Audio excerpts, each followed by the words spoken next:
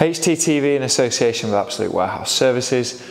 Bakker, obviously this isn't the start we wanted to the new season. What do you think we need to do to improve from now?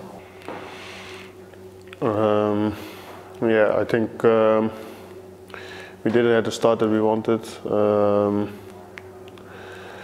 we want to play our own game. We want to, we want to fight. We want to work hard. We want to give everything for uh, for the club, for the fans, and yeah, and it didn't work uh, the first two games. And hopefully Friday, if we can, uh, yeah, work hard, stick together as teams, and show what we can, and hopefully we can get the three points. How hard have you all been working in training to try and put this right? Um, I think from the start of the pre-season we work hard as team.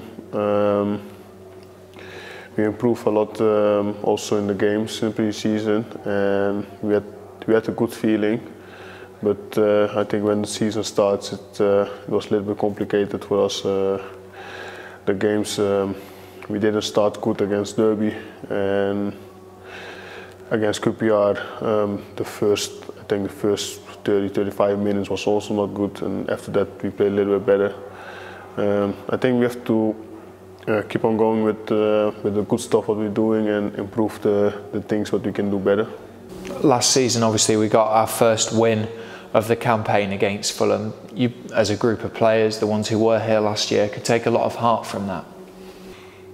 Um, yeah, because um, I think for Fulham is because um, for the players and supporters who saw the game last season and played the game, um, Fulham was hard to play here, and with that mentality that we played that game, um, if we can get that tomorrow again, I think it's going to be hard for Fulham to play here um, just nice football. Uh, if we go fight and work hard, then I, for me personally, we will win the game, and hopefully we will we will do that. They've got a lot of good players, players that have done really well in the championship before.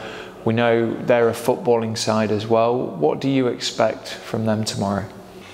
Yeah, I think um, they will again just play nice football and try to get uh, them uh, them good players um, a good feeling and but I don't um, for us we have to focus on our game and uh, yeah, our game plan and hopefully we can hopefully with that we can win the game.